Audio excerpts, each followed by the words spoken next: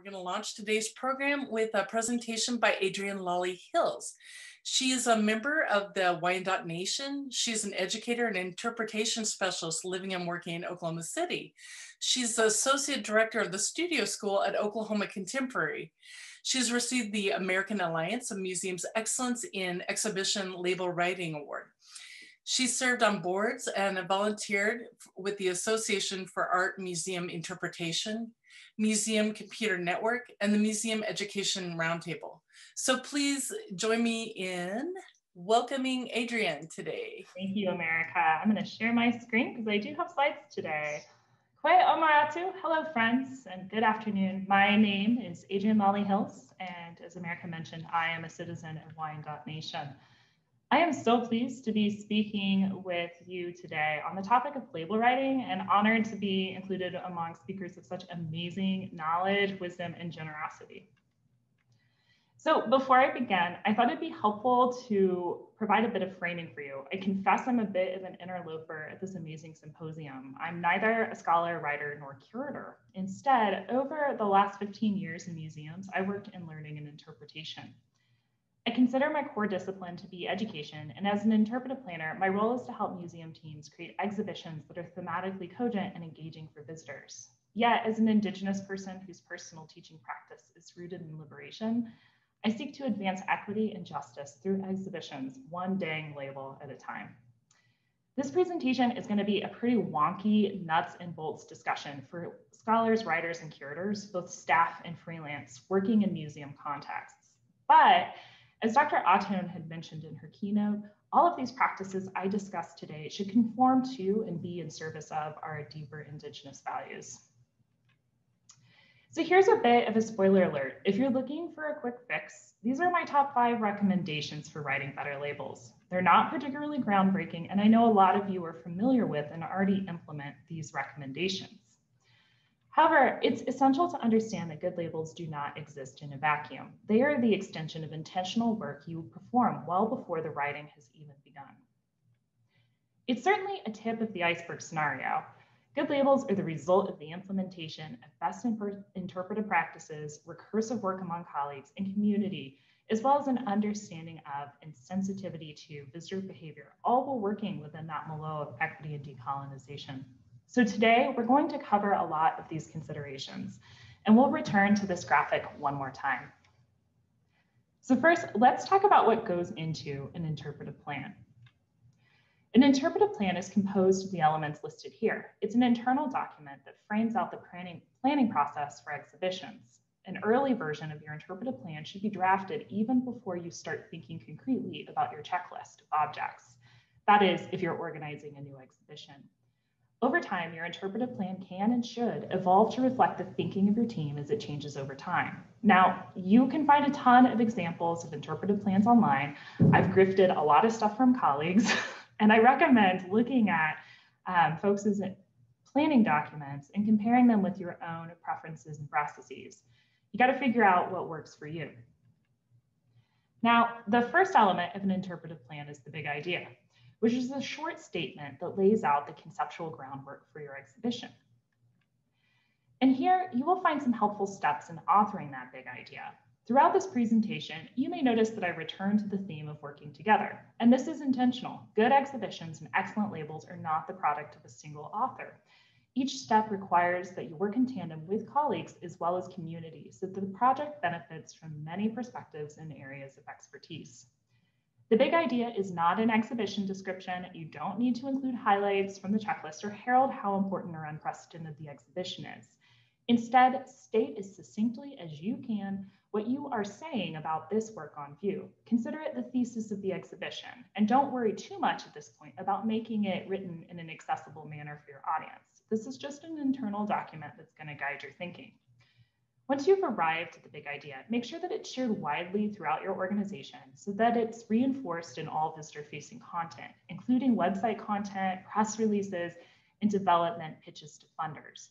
These types of anticipatory texts can shape the entrance narrative, which Dr. Mithlo uh, mentioned yesterday, of your visitors, which we'll talk about more in detail later in this presentation. So here's an example of a big idea from a reinstallation of Japanese art I worked on while at the Nelson Atkins. And it's pretty typical of a more traditional survey style presentation of permanent collection objects. And honestly, our team probably could have winnowed this down um, and made it maybe a little bit more provocative. Um, but hindsight is 2020. And here is a big idea from my former colleague, Melissa Mayer. Together with her team, she wrote this big idea for a thematic exhibition of decorative arts objects at the Carnegie Art Museum. You'll notice it doesn't even reference the specific objects that were on view or, or in this installation. Instead, it speaks to some more conceptual ideas and themes. Next, you may begin to write your key messages, and this is where you're really gonna have to exercise restraint. Together with your team, you'll need to judiciously determine the highest level concepts that you want your visitors to walk away from your exhibition with. Now, will writing key messages ahead of time limit the scope of more granular content you can include in your interpretive text? Heck no. But they serve an important role in ensuring clarity and thematic coherence among all of your many, many interpretive elements. You can tell innumerable stories about almost any topic and any object. The big idea and key messages just assist you in determining which of those stories are most salient to this specific exhibition at hand. Here are some key messages from the Japanese art reinstallation I mentioned earlier. And you'll note that they're not necessarily written with visitors in mind. They're a little long and assume some prior knowledge. Yet they were essential in our planning process Later through development, our team integrated these concepts in more plain language throughout all of our interpretive text and digital interactives. And here you will find the key messages for the thematic exhibition at the Carnegie. You'll note that these don't even cite the type of objects or what period they're from. Instead, the focus here is on those broader, more global concepts that can be applied to almost any collection of any type of object in any museum. I really like this type of key message, which is known in the education world as an enduring understanding, a bit of conceptual knowledge that can be broadly applied to many different disciplines. This is basically our version of teaching our visitors how to fish. And following Dr. Auton's keynote presentation yesterday, I'm led to think about what Indigenous values and enduring understandings I can surface and highlight in my own interpretive work moving forward. For the purposes of today's presentation, I'm not going to go into visitor outcomes, but they're essential if you plan to include interactive interpretive elements such as video, hands-on making stations, or response areas. You can find a ton of literature on this um, online on the Visitor Studies Association's website or on informalscience.org, a free repository of visitor studies papers largely applicable to all museums, not just science centers. So when we look to the literature, what do we know about the people who come to our exhibitions? First up, from a cognitive and social perspective, museum visits are wild. Throughout their visit, our visitors are orienting themselves in what's usually a poorly laid out building. They're juggling the concerns of their partner, friend, or children, and they're managing their own time. And all of this is happening as fatigue is setting in and they're encountering lots of new information and stimuli. Yet, despite all these odds, not to mention the cost of admission and the hassle of getting there, visitors still come to look at art, and we really should be applauding them. So I recommend that you acquire a lens of empathy as you begin to frame your interpretive plan and write your labels. Understand that our visitors are operating in an economy of attention. To this end, it's vital that label writers understand the concept of perceived cost benefit our visitors will consciously and unconsciously consider, is this label too long? Is this new information to me? Is it gonna help me understand what I'm looking at or answer questions I have? Your label really does have to prove its worth at first glance.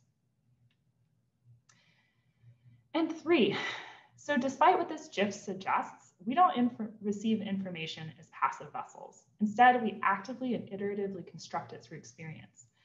In the same way, our visitors are arriving at your exhibition with some prior knowledge of and definitely misconceptions about the topic you are addressing. Sometimes we call a visitor's previously held thoughts, feelings, and experiences with the topic the entrance narrative. Now, as Dr. Mithlo mentioned yesterday, prior knowledge and entrance narratives are extremely durable, but they can be malleable over time. It's definitely playing the long game. Through visitor research and front-end evaluation, you can roughly approximate what sorts of entrance narratives your visitors might bring to an exhibition. And this is huge. It allows you to align your interpretive plan accordingly and use the label real estate that you do have in a more efficient and effective manner. Front-end evaluation can also underscore what harmful assumptions the public holds that you do need to chip away at. Entrance narratives can also be influenced by the messages constructed by your own institution or by the media. So it's important to ensure that your marketing and communications colleagues are aware of if not active participants in, any front-end research, as well as your interpretive plan. Keep in mind that these anticipatory messages aren't just limited to text, but image selection as well. Now let's get to the meat of this presentation, the actual writing. Regardless of your area of expertise or depth of experience in the field, it's essential to find a good writing partner. If you work in an institution, you can find a peer in your curatorial, education, or communications departments, even if those folks are department 01 or themselves wear multiple hats. If you work freelance, make sure that there's room in your budget and timeline for someone who can provide interpretive edits for clarity and accessibility, as well as a copy editor to bring the whole thing together. Sometimes, if you're lucky, you can find someone to do both. And if you find them, tell me, please. Once you've identified your working partner, plan for process. How many rounds of edits will you have? Which other stakeholders need to see the text before it's on the wall? At what point does the copy editor review the ratified text? Answering these questions and writing them down before you begin saves a lot of heartache. Three, before you begin your first draft, work with your interpretive partner to establish intended content for introductory text, section panels, and extended labels.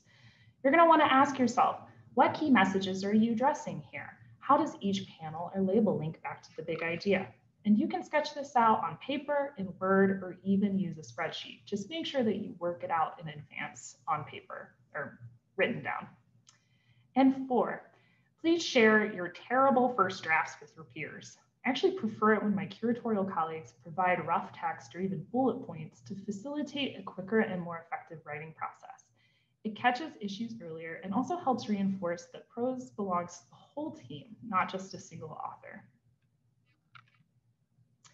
Now, sometimes curators get the enviable opportunity to produce an exhibition based off their original research or writing.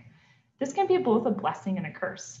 Remember that your exhibition is more than just a single authorial enterprise. It is a chance for visitors to see new works of art, explore new ideas, and learn more about not just the topic addressed, but themselves and their world.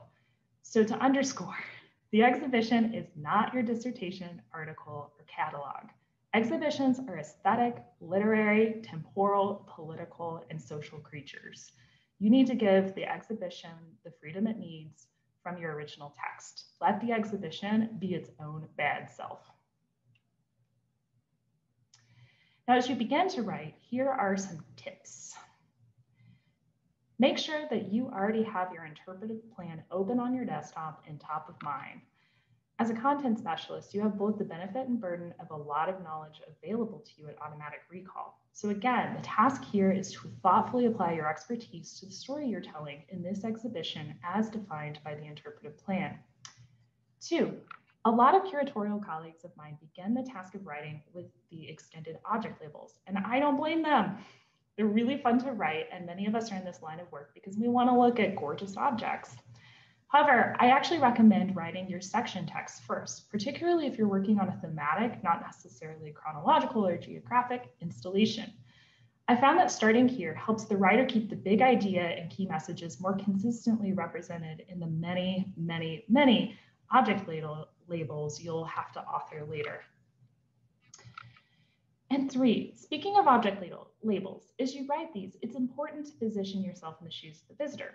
Remember the perceptions of cost benefit? They're looking at that object and likely glancing at the label for assistance or to deepen their visual investigation of the work on view. Now is your time to grab them. You got to be pithy and start with that object. Don't start with artist biographical details or the stylistic school the artist originates from, but this object right here. So this is probably the most controversial slide in my presentation. Every time I meet a new curatorial friend or join a new institution, I reliably get that look and that inevitable question, hey, so what's my word limit? And the truth is, is that the literature doesn't provide us with a single number that does the trick. Instead, it's incumbent on all of us to consider a lot of factors, including the size and scope of installation, the subject matter addressed in the exhibition, how much text you want to present overall, the nature of the works on view, visitor prior knowledge, et cetera, et cetera. The list goes on. For that reason, my experiences have led me to conclude that the above, that the numbers here strike the careful balance between sensitivity to visitor behavior as well as reasonable expectations for what we can write. Could you always write less? Heck yeah. Now, again, writing exhibition text cannot be done in a vacuum, and occasionally you may yourself be conscripted into providing interpretive edits to a colleague, and this is an excellent way to sharpen your own label writing practice. Interpretive edits are distinct from those you would receive from a copy editor. They're often more conceptual in nature and can require a good deal of revision. Hence my recommendation to send earlier drafts rather than laboring over a polished gem that just isn't gonna work. Here are a couple things you'll wanna consider as you review text from an interpretive perspective. One, keep it short and simple. A second pair of eyes can always trim the fat. I actually recommend using the Hemingway app, which is a great way to visualize and eliminate bad writing habits. Two, when you're referencing work elsewhere in the exhibition or just important other works, go ahead and use uh, a thumbnail image on the label. Great thing is, is that you can absolutely claim fair use on that. Three, I can't tell you how many times I've read a, level, a label that seems to only be a recitation of the artist's CV. Now, I don't really care if that artist went to RISD, and I'm not sure that our visitors do either. This is generally not helpful to the typical visitor and uses up valuable space that could be dedicated to supporting their one moment with that specific work of art. Artists can handle their own PR.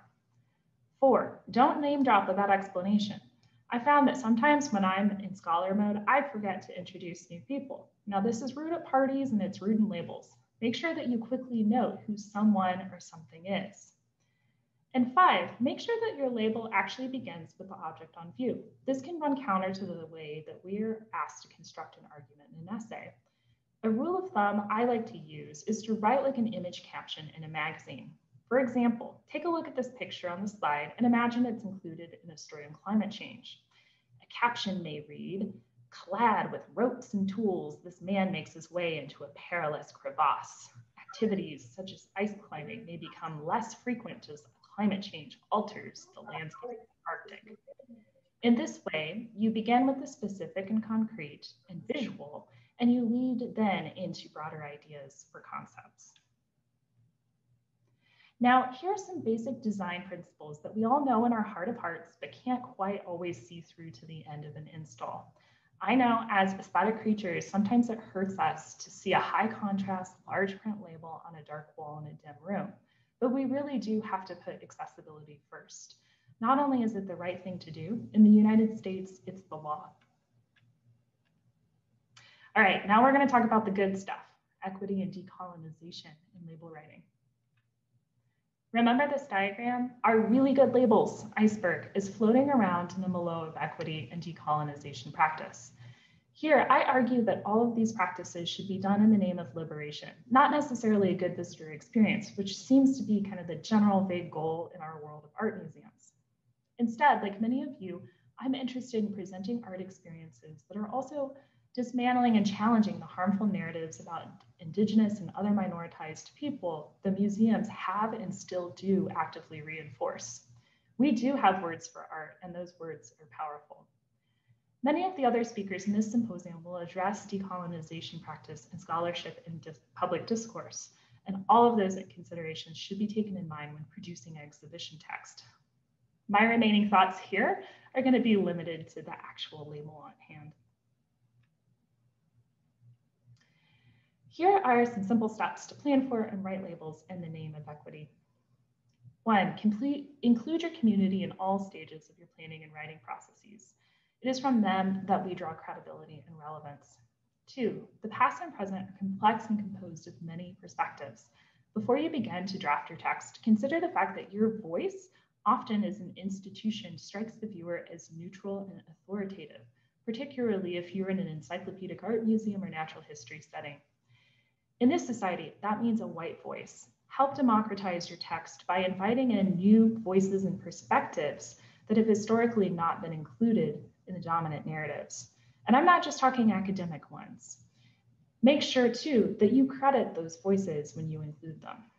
And three, consider that your budget is a moral document. Plan to pay community members and knowledge keepers for their work and expertise. Remember that equity and decolonization should impact all areas of our practice. We should routinely audit and update our institutional practice.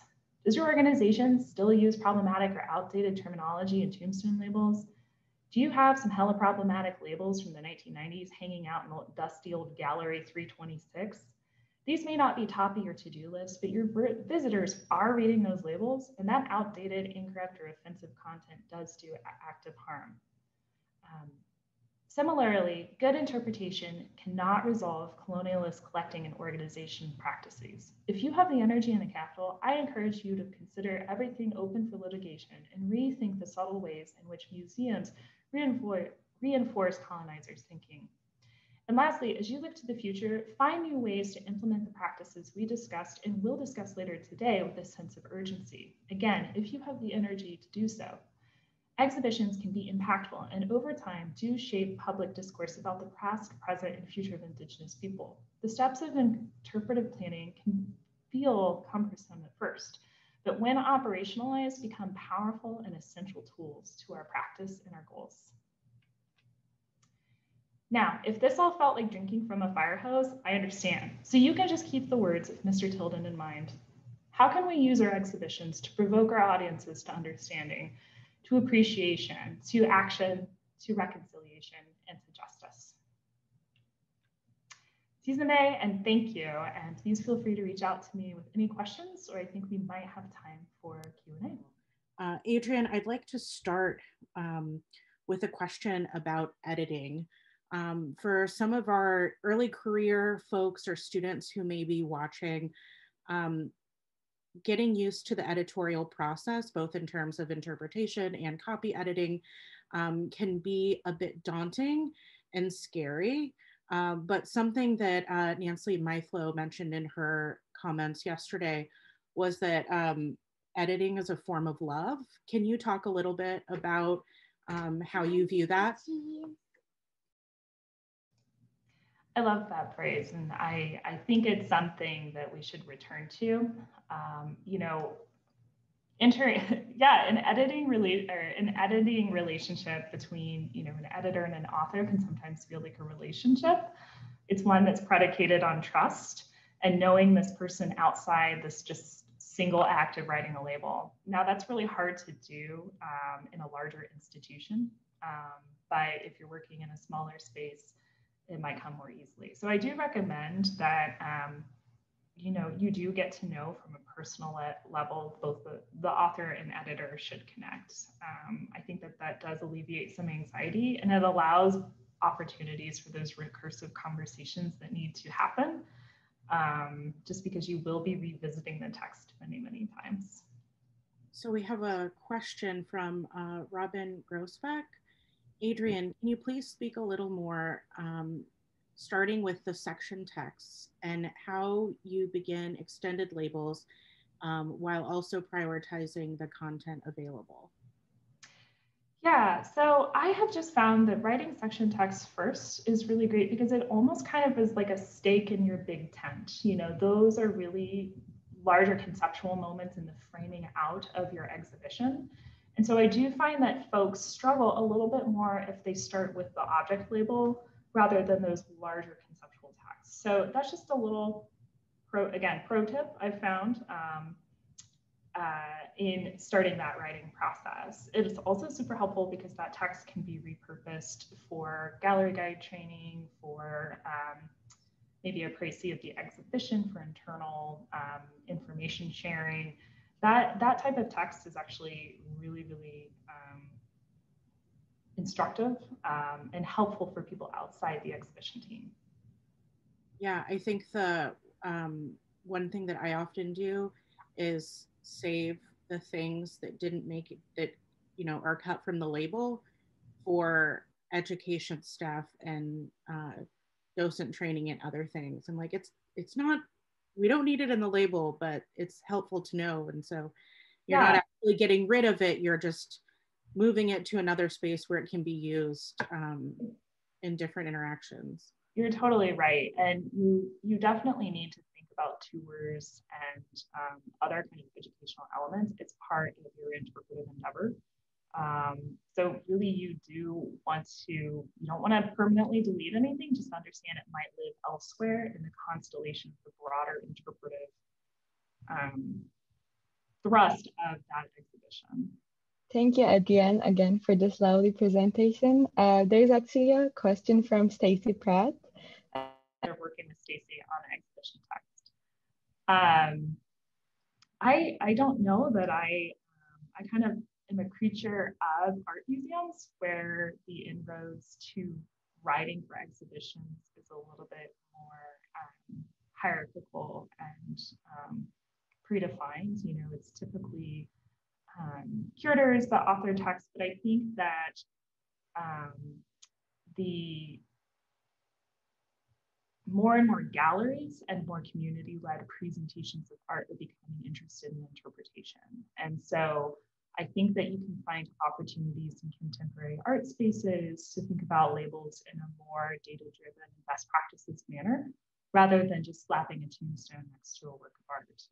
Um, so I know that I've had uh, Stacy write for me actually at a contemporary art center, and I would encourage folks to look to those spaces, which are more open to people maybe coming from creative writing fields or people who are coming from adjacent fields of scholarship or themselves are independent scholars. Again, like within the art museum world, those um, those kind of through lines into the institution are a little bit more ossified and require a pedigree sort oftentimes. Yeah, yeah, and I really appreciated your comments about um, incorporating a multiplicity of voices and perspectives. So we have two questions that I'm going to combine because they're related. Um, one from uh, Stace Treat and one from Angela Wild. So the first is what do you think or what do you feel are some common mistakes museums make in interpreting Indigenous art? And the second is the word object can be offensive. Can you speak about acceptable words to use instead of object?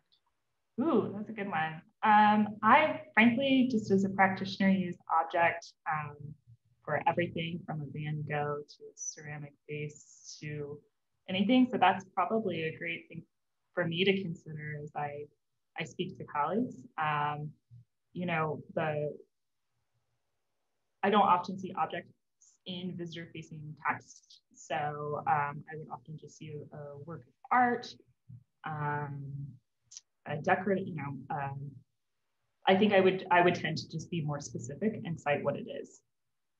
Um, so that's that's a really great question. Um, what was the second question from Stace? I'm sorry. The it was um, what are some, um, hold on, let me pull it up here. Um, what do you feel are some common mistakes museums make in interpreting Indigenous art?